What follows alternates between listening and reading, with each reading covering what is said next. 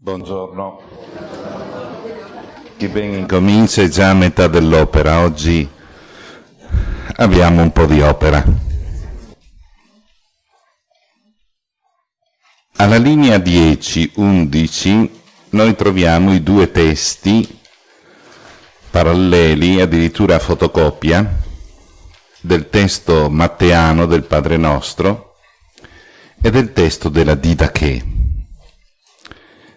Luca questa espressione non ce l'ha. Perché non ce l'ha? Boh, cercheremo adesso di capire. Il testo è fatto da un genezzeto, un passivo, sia fatta, tossere massù, la volontà di te, noi in italiano diciamo la tua volontà, os come, cai e anche.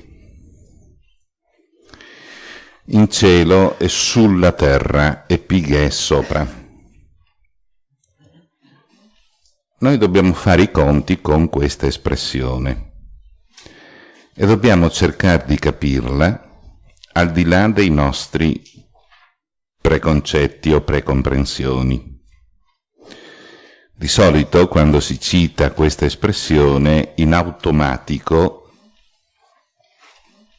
forse anche per l'educazione che abbiamo ricevuto, noi sentiamo dentro di noi io devo fare la sua volontà. Beh, eh, se l'autore sacro avesse voluto dire questo, avrebbe scritto aiutaci a fare la tua volontà, invece sia fatta la tua volontà è un'altra cosa. Perché è un'altra cosa? Perché è un passivo teologico. E quindi la volontà la deve fare lui, non noi. Sia fatta la tua volontà da te. Questo è il dato su cui noi dobbiamo confrontarci. Perciò ci chiederemo che cosa significa che lui faccia la sua volontà, dal momento che non siamo noi a fare la sua volontà. Poi ci accorgeremo che dentro a questa logica, quando noi chiediamo a lui che lui faccia la sua volontà, è chiaro che lui farà la sua volontà nella storia dove, guarda caso, ci siamo dentro anche noi. Però dobbiamo partire con chiarezza. Noi chiediamo che Lui compia la sua volontà. Il secondo dato su cui bisognerà misurarsi, ma non è molto difficile, non è molto difficile. Non dico che bastano queste piccole annotazioni di tipo filologico, però siamo vicini. Quando noi sentiamo la parola cielo-terra, immediatamente, vista l'epoca in cui è scritto il testo, e cioè verso gli anni 80 d.C., siamo tentati di mettere in parallelo questa espressione con i concetti medio-platonici dell'epoca e quindi fare del cielo il modello e la Terra il tentativo di riprodurre quel modello. Se c'è un, un sistema di pensiero che gli ebrei non accettano tanto volentieri, è proprio il platonismo. Il motivo è molto semplice. Tutti quanti ricorderete che poco prima del 164 a.C. viene pubblicato un libro chiamato Libro di Daniele, dove si dice con chiarezza che i giusti, cioè coloro che sono rimasti fedeli alla fede dei padri, durante la persecuzione di Antioco IV Epifane, si sarebbero risvegliati dalla polvere sarebbero risorti. Ora noi sappiamo che la risurrezione non è la risurrezione dell'anima. Dell'anima si dice sempre che è immortale, non muore mai. È il corpo casomai che risorge. Ora questa concezione della risurrezione, che nel mondo ebraico è ben chiara dalla metà del secondo secolo a.C., non può accordarsi con nessuna dottrina platonica o medio-platonica. Perché nel mondo del pensiero di Platone il corpo è prigione dello spirito e quindi la vera vita viene vissuta dall'uomo quando l'uomo è liberato dal corpo. Per questo motivo mettere in parallelo questa espressione con il medio platonismo è un assurdo culturale. E allora che significato ha? La prima cosa che noi possiamo eh, capire è che si tratta di un'espressione polare. Già conosciamo questo modo di parlare perché nel mondo ebraico per dire tutto o adoperano l'indefinito col, oppure si esprimono con i due estremi che contengono la realtà. Per quanto riguarda l'universo, cielo e terra. Voi potete vedere benissimo il primo capitolo della Genesi, incomincia così. In principio Dio creò il cielo e la terra, che vuol dire ha creato tutto il cosmo. Quindi questa espressione polare potrebbe essere un primo elemento che ci fa capire l'espressione. In altre parole, il testo chiederebbe che Dio compia la sua volontà ovunque, in tutto ciò che è il mondo della creazione. Ma poi c'è un'altra finezza. Dove sta questa finezza? Nel secondo secolo a.C.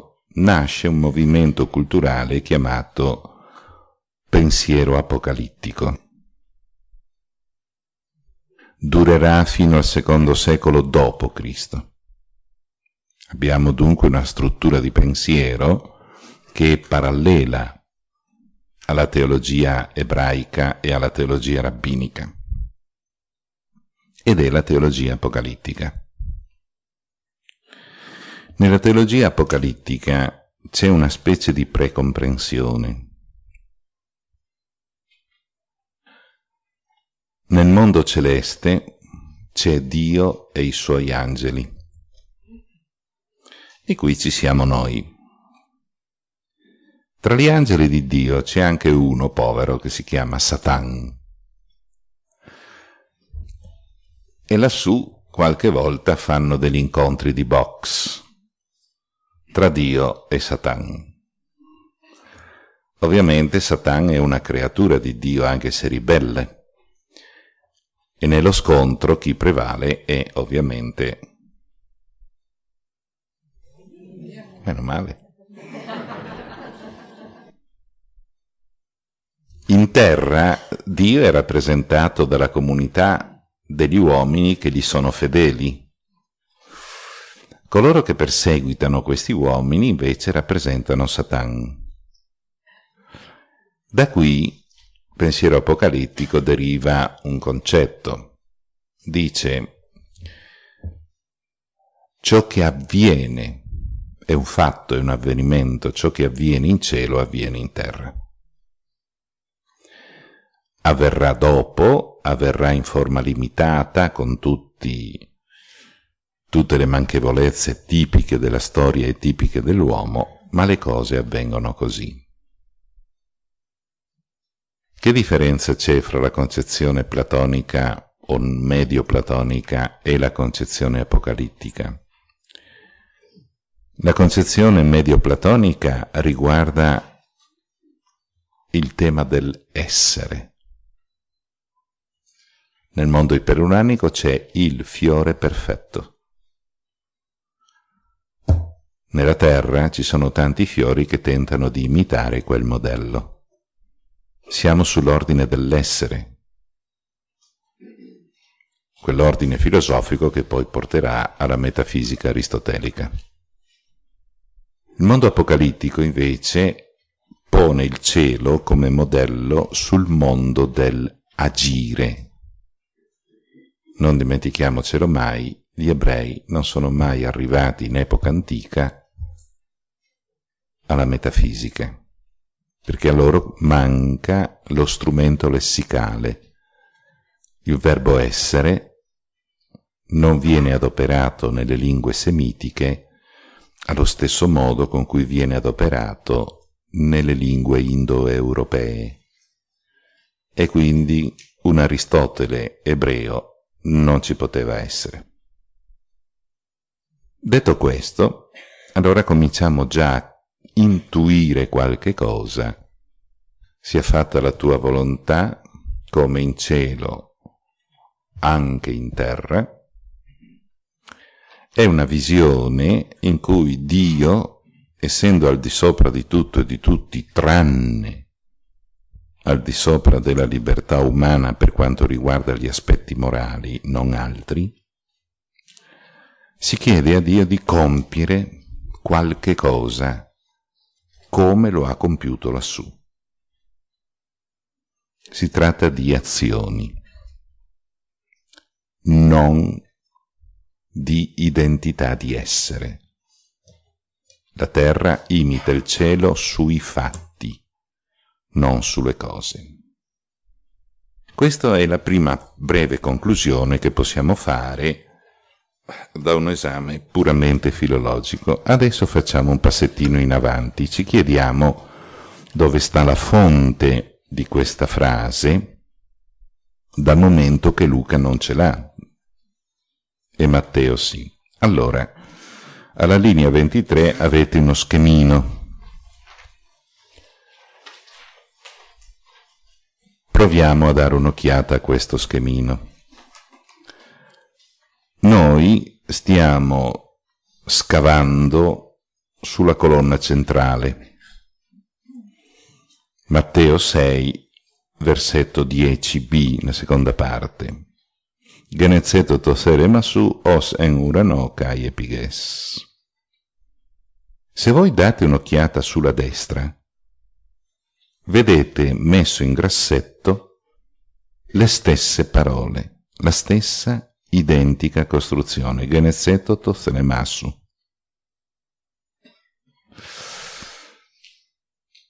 Queste sono le parole, quelle di destra, che Gesù dice nel Getsemani. Si allontanò una seconda volta e pregò dicendo, Padre mio, è interessante, a noi ha insegnato a dire Padre nostro, lui invece quando prega dice Padre mio, Pater mu. Se questo calice non può passare via senza che io lo beva, si compia la tua volontà. I traduttori del Nuovo Testamento hanno fatto le due varianti. Nel Padre nostro ha messo sia fatta la volontà tua la tua volontà, e invece nel racconto della passione ammesso si compia. Nella lettura del testo italiano questo, questa differenza crea una difficoltà nel mettere insieme le due frasi, perché c'è la variante del verbo e quindi non viene subito in memoria che quel si compie la tua volontà possiede l'identica dicitura greca del Padre nostro. Allora la domanda a questo punto è Matteo copia la dicitura del Padre nostro dalle parole di Gesù del Getsemani? Ma si può fare anche l'altra ipotesi, che Matteo peschi dal Padre nostro di Gesù le parole del Getsemani. Perché c'è questo dubbio? Andiamo sulla colonna di sinistra. E diceva, Abba, Padre, tutto è possibile a te, allontana da me questo calice, però non ciò che voglio io, ma ciò che vuoi tu. Traduzione quasi perfetta dell'italiano rispetto al greco, ma sia in greco sia in italiano questa è una frase che non si adopera mai, è una costruzione molto strana, mentre in aramaico e in ebraico è perfetta. Quindi queste parole sono un calco di un precedente testo semitico o ebraico o aramaico che riportavano le parole di Gesù nell'orto del Getsemani. Ora, se noi teniamo presente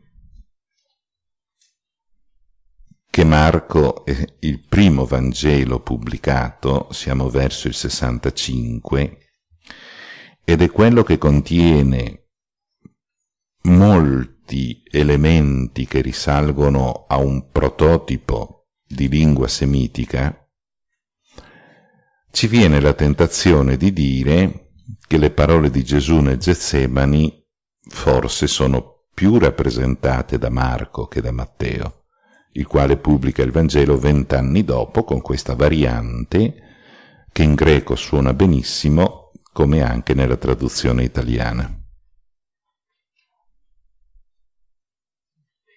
Allora viene da concludere che le parole di Matteo messe in bocca a Gesù nel Getsemani sono una elaborazione teologica di Matteo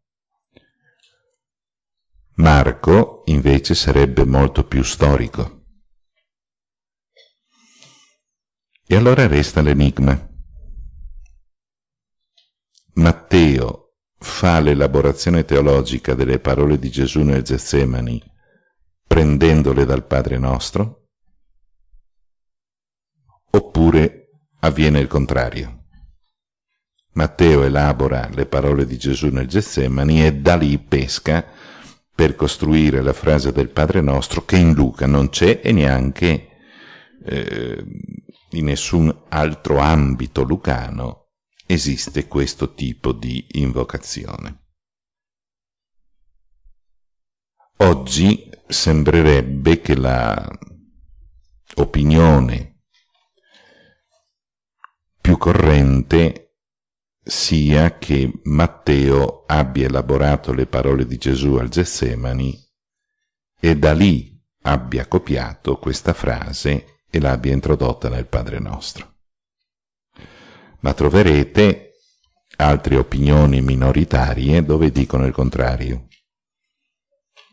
Matteo elabora l'espressione del Padre nostro e da lì copia la stessa espressione per metterla in bocca a Gesù nell'orto del Getsemani.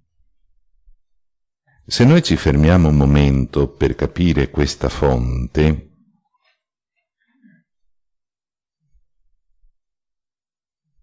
noi arriviamo, facendo un'esplorazione ovviamente filologica in ebraico, a vedere che il concetto di volontà di Dio in ebraico non esiste. Esiste un altro concetto che è parallelo e forse anche più forte, ed è tutto racchiuso in quella parolina ebraica che io vi ho copiato alla linea 25. Si pronuncia razon. Razon vuol dire eudochia, beneplacito. Questa parola ovviamente ha un'area di significato molto più ampia di volontà e ci aiuta forse a capire meglio il concetto di selema nel greco neotestamentario. Il beneplacito di Dio è sì il progetto che Dio ha sulla storia dell'uomo Dio si serve delle libertà umane per condurre la storia dove vuole Lui. Questo è uno dei primi concetti che sta dietro alla parola razzon greco eudochia, il beneplacito di Dio. Dio si serve del tuo nemico per darti una lezione e si serve del nemico del nemico per liberarti. E in questo gioco, stranamente, tutti e tre siete liberi. Di fare il bene e fare il male. L'altro di rubarti il telefonino e anche il taccuino e il terzo che fa il poliziotto di acciuffarlo. Tutti e tre pensano di essere completamente liberi e lo sono, e quindi di fare ciò che fanno semplicemente perché lo hanno deciso loro. Di fatto, dice il testo ebraico, le cose non sono esattamente così. Ognuno ha una sua libertà, ma la libertà è umana e quindi la libertà comunque perché umana è limitata. Dentro a questo limite delle singole tre libertà dei nostri tre protagonisti, Dio orienta le azioni in modo tale che le azioni portino a determinati compimenti. in questo cammino non è che tutto fili liscio, non è che tutto sia delicato, alle volte ci sono anche momenti di fatica, di violenza, di dolore, di sofferenza. Però l'obiettivo viene raggiunto. Così pensano gli ebrei. Questo dunque è il primo concetto di beneplacito. Un secondo concetto di beneplacito noi lo dovremmo tradurre con preferenza